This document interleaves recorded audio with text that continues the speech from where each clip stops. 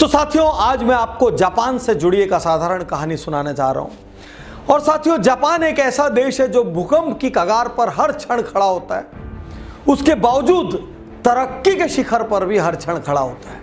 जिसने कुछ नहीं होते हुए भी सब कुछ खड़ा किया वो देश है जापान। तो साथियों, जापानियों को मछली, फ़िश खाने का बहुत शौक था। और वो नौकाओं में निकलते, डेली खूब सारी मछलियाँ पकड़ते, वापस लाते और पूरे जापान में मछलियाँ खाई जाती। धीरे धीरे समुद्र के किनारे पर मछलियाँ कम होने लगी। जापानी और आगे तक जाने लगे पानी में। फिर मछलियाँ पकड़ पकड़ के लाने लगे, फिर वहाँ तक भी मछलियाँ कम हो गई, वो और आगे जाने लगे। उन्होंने नौकाओं की साइज़ बड़ी कर ली, और बड़ी कर ली, और बड़ी कर ली, अब वो लंबी दूरी तक जाने लगे। लेकिन धीरे धीरे वहाँ भी मछलियाँ ख़त्म होने लगी और बहुत दूर से जो मछली पकड़ पकड़ के लाते थे आते आते तक उनका स्वाद खराब हो जाता था और उनके जो ग्राहक थे, वो उन मछलियों को लाइक नहीं करते थे।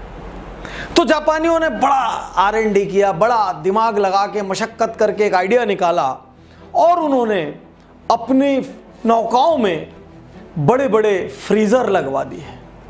अब वो मछली पकड़ते और उनको फ्रीजर्स में भर देते और फ्रीज़र में मछली लेकर आ जाते। कुछ दिन तक तो ठीक चला, लेकिन बिज़नेस वापस डाउन हो गया, क्योंकि कस्टमर्स को फ्रिज में रखी गई इतने इतने घंटों तक की मछलियाँ टेस्ट में अच्छी नहीं लगती थी।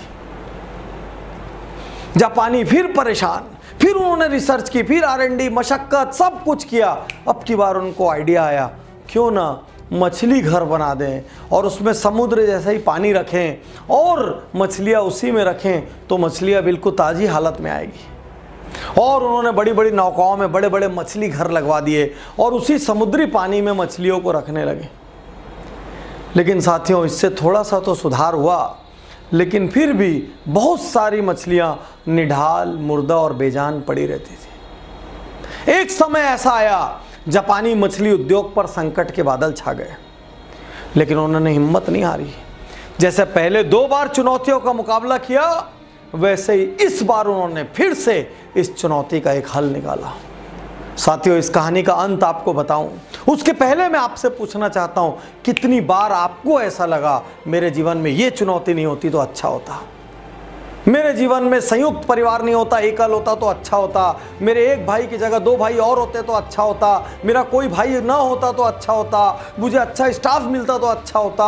मुझे अच्छी वाइफ मिलते तो अच्छा होता। मुझे अच्छा हस्बैंड मिलता तो अच्छा होता। मेरी हाइट ज़्यादा होती, मेरी भाषा इज़ दैट जाने क्या क्या चुनौती आपने सोची?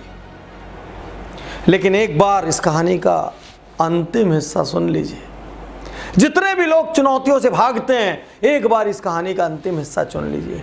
जब मछली घर लगवाने के बाद भी मछलियाँ बेजान और मुर्दा आने लगी तो एक दिन उन लोगों ने रिसर्च करके दिमाग लगाया।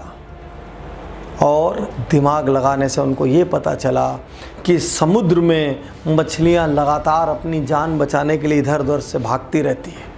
बड़ी मछली छोटी मछली को खाती है, छोटी मछली जान बचाती है और इस आपाधापी में, इस भागम भाग में उनके शरीर के अंदर ताजगी फ्रेशनेस हार्मोनल बैलेंस बना रहता है।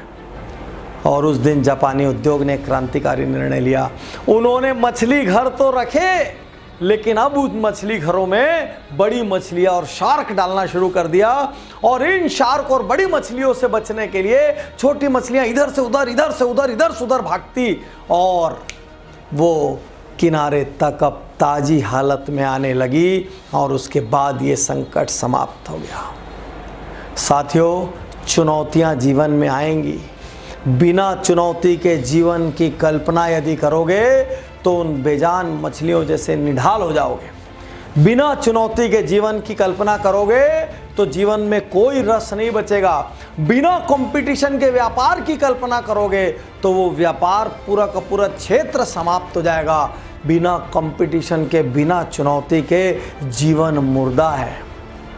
याद रखिए, प्रतिस्पर्धा हमको बेहतर बनाती है, चुनौतियाँ हमको ज़िंदा रखती है। इसलिए साथियों, जिस तरीके से, उन शार्क्स की वजह से, उन बड़ी मछलियों की वजह से, वो छोटी मछलियाँ ज़िंदा थी, उसी वजह से कंपटीशन की वजह से और चुनौती की वजह से आप ज़िंदा हैं। इसलिए चुनौतियों का स्वागत कीजिए चुनौतियों को गले लगाइए, चुनौतियों से हारिए मत, चुनौतियों से घबराइए मत, उल्टा मेन चुनौतियों के बीच जाकर बैठिए।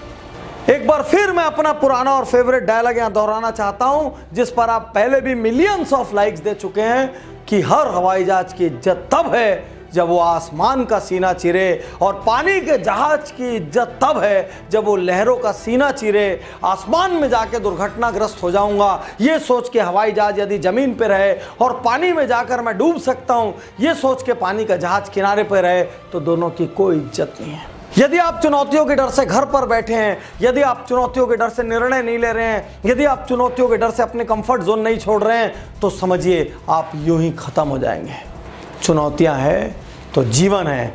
चुनौतियों का स्वागत करिए और एक कहावत याद रखना, जिसकी जितनी ज़्यादा परीक्षा ली जाती है, उसको उतना ज़्यादा वरदान मिलता है। ऊपर वाला उसी की परीक्षा लेता है, जिसको वो कुछ देना चाहता है। शुक्रिया। धन्यवाद।